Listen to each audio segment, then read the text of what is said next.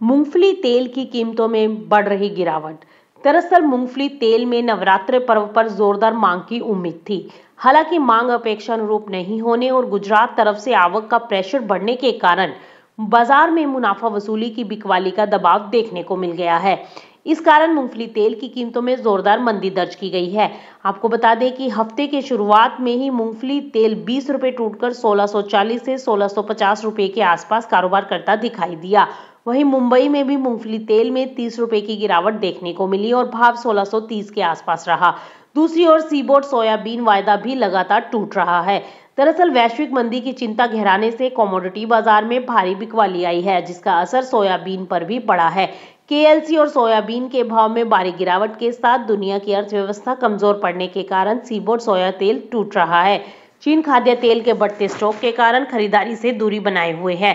वहीं दोराब मिस्त्री ने कहा है कि केएलसी 3000 से पच्चीस रुपए के लेवल तक गिर सकता है, इसलिए भाव में और गिरावट की उम्मीद से भारत भी शांत है। चीन और अमेरिकी बाजारों में कमज़ोरी से बाज़ार पर नकारात्मक नज़रिए से सप्ताह के पहले ही दिन केएलसी में जोरदार गिरावट दर्ज की गई।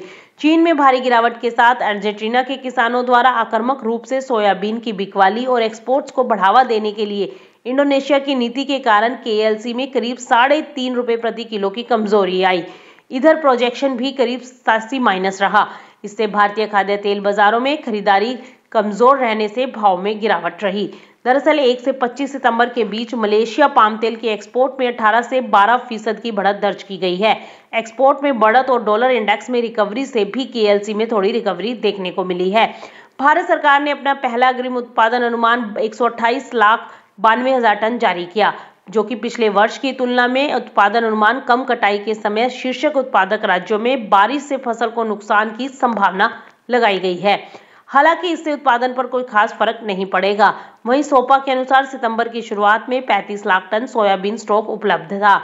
डीओसी के भाव अंतर्राष्ट्रीय बाज़ार से प्रतिस्पर्धी होने की वजह से इस वर्ष सोया डीओसी की एक्सपोर्ट डिमांड अच्छी रहने की उम्मीद कर रहे हैं। वहीं माना जा रहा है कि अभी फ़िलहाल खाद्य तेलों में गिरावट बनी रह सकती है। Bureau report, Market Times TV.